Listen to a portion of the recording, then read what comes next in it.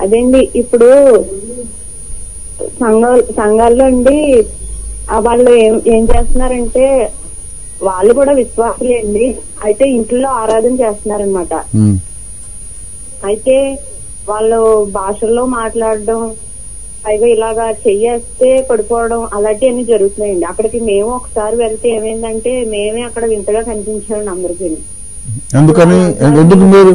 నమ్మట్లేదు అందుకే ఇలాగ మీకు ఏం జరగట్లేదు అని చెప్తున్నారు. మీరు ఎందుకు వింతగా కనపడ్డారు మీరు పడిపోలేదనే?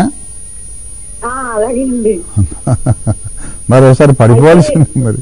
ఆనందించే వరం కూడా నాకు ఉన్నదని చెప్పి మీరు నవ్వండి అంటే వాళ్ళు ఏం చేస్తున్నారంటే చాలా విపరీతంగా నవ్వి ఇలాగా కింద పడి కొట్టేసుకుని నవ్వుతున్నారండి. మేమే అలా చేయలేదని మమ్మల్ని దూషిస్తున్నారు అనమాట మరి ఎందుకు వెళ్ళారు మీరు ఎక్కడికి అసలు? మా ఇంటి పక్క వాళ్ళు రమ్మంటే ఇలాగా ఒకసారి రండి ఆరాధనగా అని చెప్తే వెళ్ళామన్నమాట అండి. అమ్మా ఇట్లాంటి విపరీత ప్రవర్తన ఏది లేఖనానుసారమైంది కాదు. ప్రశాంతంగా కూర్చొని దేవుని వాక్యాన్ని విని ధ్యానించి ఆత్మలో స్థుతించి ఆరాధించి ఎక్స్క్యూజ్ మీ మరి ప్రభురాత్రి భోజనంలో పాలు పొందేటటువంటి సౌండ్ డాక్టర్ ఉన్న సంఘానికి వెళ్ళండి అమ్మా ఆనందించే వరం అని బైబిల్లో ఎక్కడుంది? కింద పడి గిలగల కొట్టుకొని నవ్వడం ఏంటి? ఈ లెక్కన అనేకమైన భ్రమపరిచే ఆత్మలు సంఘాల్లో పనిచేస్తున్నాయి. అలాంటి చోట్లకి మీరు వెళ్ళకండి. ఎవరు పడితే వాళ్ళు పిలిచారని మీరు వెళ్ళకండి. సరే వెళ్తే వెళ్ళారు. ఇంటి పక్కోళ్ళు పిలిచారు. మళ్ళీ వెళ్ళకండి ఇక. ఏమ్మా? ఒకసారి వెళ్ళారు. అక్కడ సంగతి తెలిసింది కదా మీకు.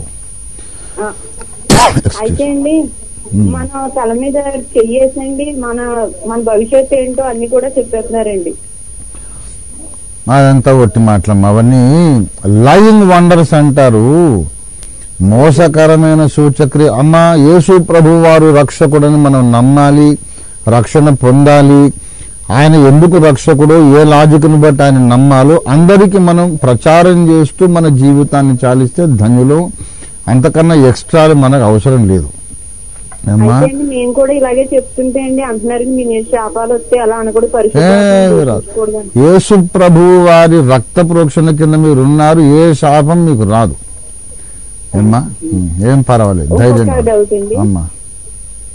సామెతల్లోని ఆఖరి అధ్యాయంలో ఉంటది కదండి వేకువనే లేచి వాళ్ళ స్నేహితుణ్ణి ఆశీర్వదించి గొప్ప శబ్దముతో దీవించు వాని దీవెన వానికి శాపముగా ఎంచబడును అని అంటాడు. అంటే ఏం లేదమ్మా. ఇరవై ఏడవ అధ్యాయము పద్నాలుగు మీరు చెప్పారు. సామెతలు ఇరవై ఏడు పద్నాలుగు మీరు చెప్పారు. Twenty seven fourteen. వేకునే లేచి గొప్ప శబ్దముతో తన స్నేహితుని దీవించు వాని దీవెన వానికి శాపముగా ఎంచబడును అని అన్నాడు.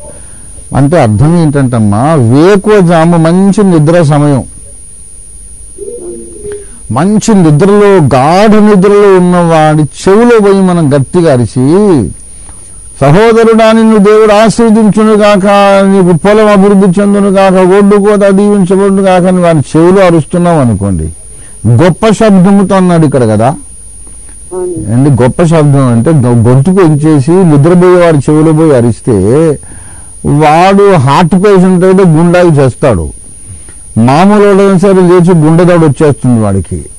ఏది కాకపోయినా గుండెదడ గుండెపోటు రాకపోయినా లేచి విని తిట్టిపోతాడు. రే ఎవర్రా నువ్వు? నా బంగారం లాంటి నిద్ర గడగొట్టావు కదరా నువ్వు? అని తిడతాడు.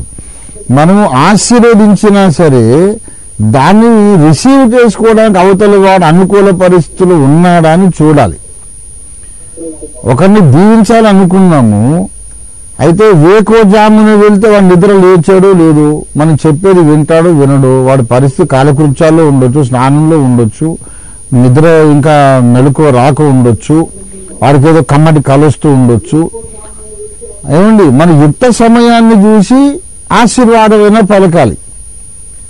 ఏమ్మా ఒక సత్యాన్ని బోధించిన ఆశీర్వాదం పలికిన యుక్త సమయము యుక్త సమయం సమయోచిత జ్ఞానం అనేది మనకు ఉండాలి. ఎప్పుడైతే మనం మంచి మాటే పలుకుతున్నామో కానీ ఆ సమయంలో వాడది వినడానికి మెలకువగా సిద్ధ మనసుతో లేడో. వాడు చిరాకు పడతాడు. ఆ దీవెన దీవెనగా ఉండదు వాడికి. ఏదో తిట్టిపోసినట్టుగా వినబడుతుంది.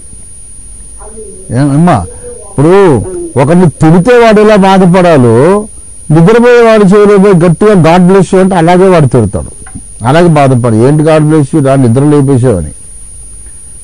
మనము మంచి మాటలు చెప్పినా సత్యమే బోధించినా ఆశీర్వాదమే పలికినా అవతల వాడు కూడా దాన్ని ఎంజాయ్ చేసేటట్టు చెప్పాలి. అది విషయం. ఓకే ఓకే అమ్మా రైట్ గాడ్ బ్లెస్